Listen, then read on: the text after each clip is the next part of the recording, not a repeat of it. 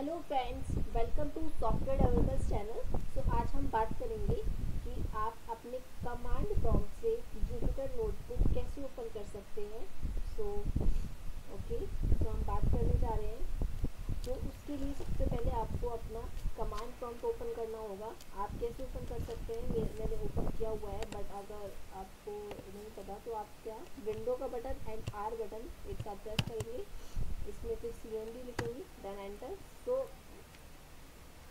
अगर आपको Jupyter notebook अपने कमांड प्रॉम्प्ट से डायरेक्ट ओपन करनी है विदाउट एनाकोंडा ओपन करें, क्योंकि एनाकोंडा ओपन होने, करने में बहुत लोड लेता है सिस्टम हैंग हो जाता है पूरा तो आप एनाकोंडा को बिना ओपन किए एनाकोंडा सॉफ्टवेयर है, आपको पता ही होगा जुपिटर नोटबुक हम यूज़ करते हैं, उसमें बहुत सारे ऐसे सॉफ्टवेयर होते हैं तो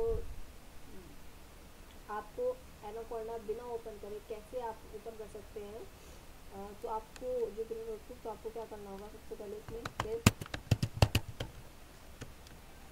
install Jupyter no Jupyter sorry तो आपको ये चीज़ें इसमें लिखनी होंगी और आपको एंटर प्रेस करना है। मैंने ऑलरेडी डाउनलोड किया हुआ है सो मेरी रिक्वायरमेंट्स फुलफिल होंगी ऑलरेडी तो ये थोड़ा सा नेट का लोड लेगा। तो आपको ये डाउनलोड करना है। ये आराम से सारे जितने भी पैकेजेस होंगे, जितने भी पैकेजेस की रिक्वायरमेंट होगी सभी को डाउनलोड कर देगा। उसके बाद आपको क्या करना है? आपको लिखना है Jupyter notebook only Jupyter notebook and then आपको एंटर करना है।